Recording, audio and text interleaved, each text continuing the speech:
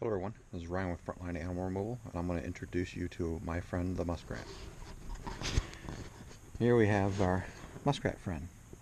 We caught him earlier today and since I don't have many videos or pictures of a muskrat I figured you know we shoot a little bit of video here showing him.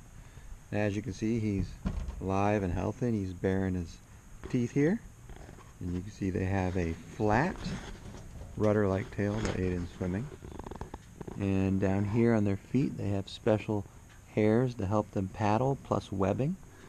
They spend 90% of their time in the water. Most people rarely ever get to see a muskrat. And usually when they see a muskrat they see him swimming in the water all wet and nasty looking.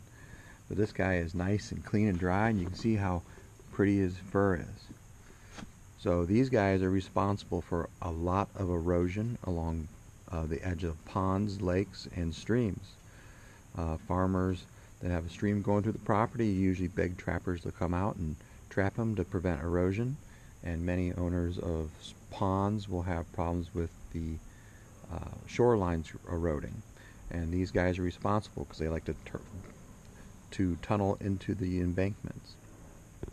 So this is our our friend the muskrat. And in the cage he's being pretty calm, but if you were to ever corner a muskrat in the wild, you have to be very careful because they have this nasty little um, defense mechanism where they jump at you and try to bite. And their teeth, as you can see, are quite nasty looking. But he's in his cage, so he's no threat to anybody. Thank you.